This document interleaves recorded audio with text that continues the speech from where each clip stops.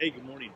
I'm John Rhoads. This is Rhoads Life Coaching, and I'm going to ask for your help in kind of a thought experiment today. Take for a minute and think about ripples on the water. Think about waves.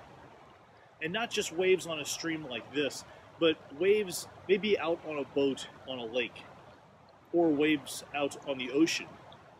And have you ever noticed the variability and the variation in how those waves occur?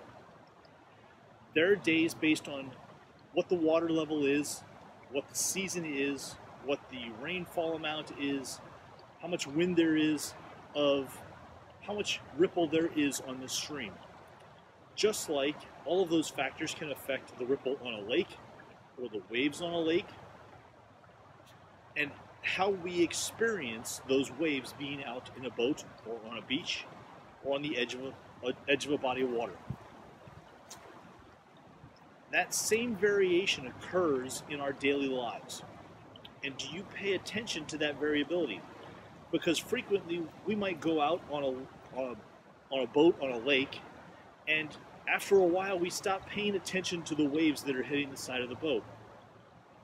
Or we might be out on a rough day, or things get rough on the lake, and we start to notice the variations as things as the waves get bigger. Our daily lives are like that. We may not notice the variability in traffic as we go to work until there's an accident and everything backs up. We may not notice the variation and the variability in the meals that we eat until there's time for a celebration or a special meal. This variation and variability, the, the change in the waves, the change in the ripple, the change in the water, happens in nearly every aspect of our lives. And some aspects we get used to and they fade into the background and we don't notice. And other aspects, they're there and we become more sensitive to them the more stressed out that we are. The more things that there are to pay attention to. When we get overwhelmed, even little waves can have a bigger impact. So, my request for you this week is to start thinking about or pay attention to, just for a week, to see where is it that there is variation and variability. Where are there waves that you don't notice on a daily basis? What about waves of when things get rough for you, when the waves get bigger on a daily basis? Inside your personal life, do you feel them more? And is there some way to come to some acceptance that waves happen? we have this variability and variation is built into our systems of how we live in all aspects of our lives. And it's okay to accept going up and down waves in a boat on a lake or on a ship in the ocean. And that we can handle and we can learn how to navigate and we can learn how to accept that variability of the daily ups and downs.